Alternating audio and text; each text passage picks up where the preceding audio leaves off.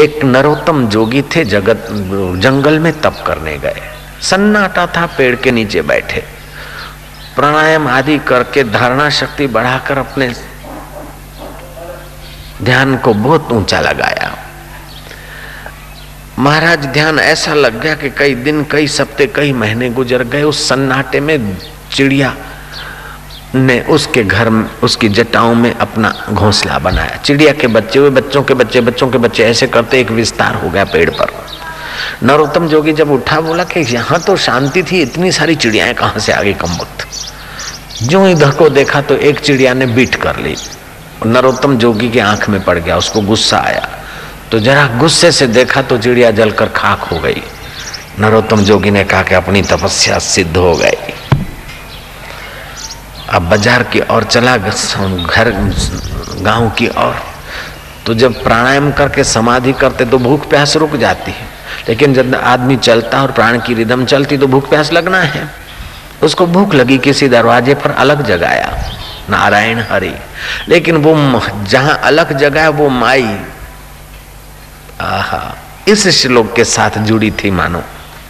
तस्या हम सुलभ पार्थ नित्य युक्त से योगिना। उसको पति के शरीर में अपना परमात्मा दिखता है।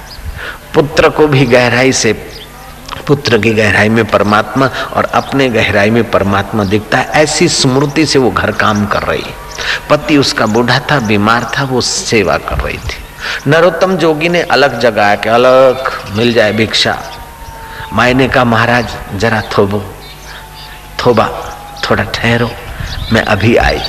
महाराज दो पाँच मिनट बीती न बीती सोचने लगे कि माई की बच्ची क्या समझती है। अभी अभी मुझे गुस्सा हुआ तो चिड़िया जलकर खाक हो गई। तो ये माई को गुस्से से देखूँगा तो फिर उसका क्या हाल होगा, उसको पता नहीं चलता।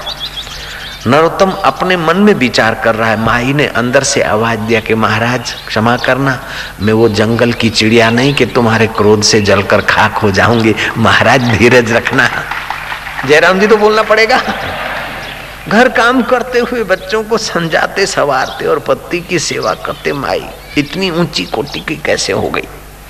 नरोत्तम को अब तो भिक्षा मांगना, रोटी मांगना महत्व तो नहीं रहा, उससे ज्ञान मांगने की इच्छा से बैठ खड़ा ही रहा। माई अपने पति की चाकरी करके पहुँची। बोले, माँ, मेरे मन की बात तुमने अपने घर में, घर काम करते करते कैसे जान ली? माई कहते कि मेरे पति की हालत जरा गंभीर है। महाराज, मैं इतना समय नहीं दे सकती आपको। अगर आपको ये ज्ञान जानना है तो सदना कसाई के पास जाइए। सदना कसाई? एक बार तो धक्का लगा, लेकिन सोचा कि ज्ञान तो चाहे कहीं भी मिले, ले लेना चाहिए। कहा तो वो नरोत्तम जोगी और कहा कसाई की दुकान पूछ रहा है। शर्म से भी पूछना तो पड़ता है। पूछते पूछते उसकी दुकान के सामने गया तो वो सदना कसाई बोलता है कि, ओ महाराज, उस माई ने भेजा है ना आपको? और धक्का लगा कि ये ये दुकान पे बैठा, तोल रहा है मीट, और माई ने भेजा, हद हो गई। बोले, महाराज, मैं अपना ये दुष्ट प्रारब्ध का काम पूरा करके ना धोकर तुम्हारे जैसे पवित्र संत के पास हाजिर होता हूँ। नरोत्तम जोगी बैठे रहे। सदना ने अपना नित्य जो कुछ था, तराजू बराजू साफ़ सफ़ा किया, नहाया धोया, पहुँच गया। बोले, भाई, तुमको ये ज्ञान कहाँ से हुआ? बोले, महाराज, मैं बाहर से कसाई दिखता हूँ, लेकिन मेरा उस कर्म में रुचि नहीं है। दुष्ट प्रारब्ध पूरा कर रहा हूँ।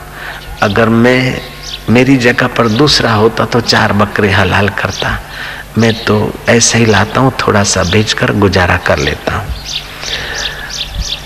मैं खाता नहीं। और महाराज, मुझे मेरे मन को मैं रोज भोजन कराता हूँ, बाद में अपने मुँह को भोजन कराता हूँ। मन का भोजन भगवान का ध्यान है और मुँह का भोजन अन्न, जल और महाराज संसार की चीज़ें हैं। ग्राहक से मैं ऐसा व्यवहार करता हूँ कि ग्राहक के को ठगी न हो। और मेरी दो रोटी मिल जाए। संग्रह करके मर जाना किस काम का? बेटों का प्रारब्ध होगा। अगर पुत्र सपुत होगा तो उसको धन अपने आप मिलेगा और कपूत होगा तो मेरा धन दिया हुआ कब तक रखेगा? अगर पुत्र सपुत है तो फिर काहे धन संचय? वो तो कहीं भी कदम रखेगा, उसको तो मिलना मिलना है। अगर कपूत है तो तुम्हारा धन कब तक रहेगा? इसलिए पुत्रों के लिए कूड़ कपट करके ढगला देकर उनकी बुद्धि बर्बाद करना नहीं चाहता। उनकी आजीविका, गृहस्थी जीवन का दो पैसा कभी काम आए, रखता हूँ। लेकिन महाराज, वो धन नश्वर है, ऐसा गुरु का ज्ञान साथ में रखता हूँ और मेरा आत्मा परमात्मा शाश्वत है, इसकी स्मृति रखता हूँ और अपने मन का अनुसंधान करता हूँ तो दूसरे के मन की बात पता चल जाता है। जयराम जी की। आप अपने मन का ठीक से नियंत्रण कीजिए, अनुसंधान कीजिए, दूसरे के मन की बात जानना आपके लिए खेल हो जाएगा।